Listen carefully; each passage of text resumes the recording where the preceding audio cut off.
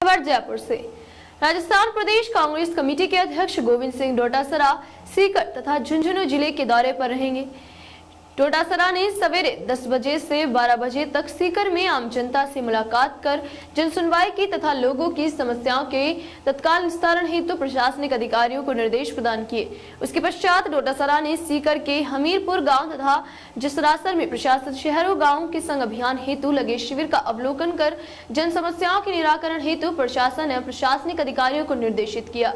डोटासरा ने इस अवसर पर ग्राम पंचायत जसरासर के लिए चार करोड़ की लागत से निर्मित होने वाली सड़क का तोहफा प्रदान किया तथा खेल मैदान में सुविधाओं को बढ़ाने हेतु आगामी बजट में प्रावधान करने हेतु मुख्यमंत्री को सुझाव देने का आश्वासन प्रदान किया। दोपहर चार बजे डोटासरा ने झुंझुनू ज़िले के घरसाना खुर्द गाँव जाकर अपने दायित्वों के निर्वहन में प्राणों की आहुति देने वाले शहीद कुलदीप राव को श्रद्धांजलि अर्पित की तथा परिजनों से मिलकर उन्हें सांत्वना प्रदान की।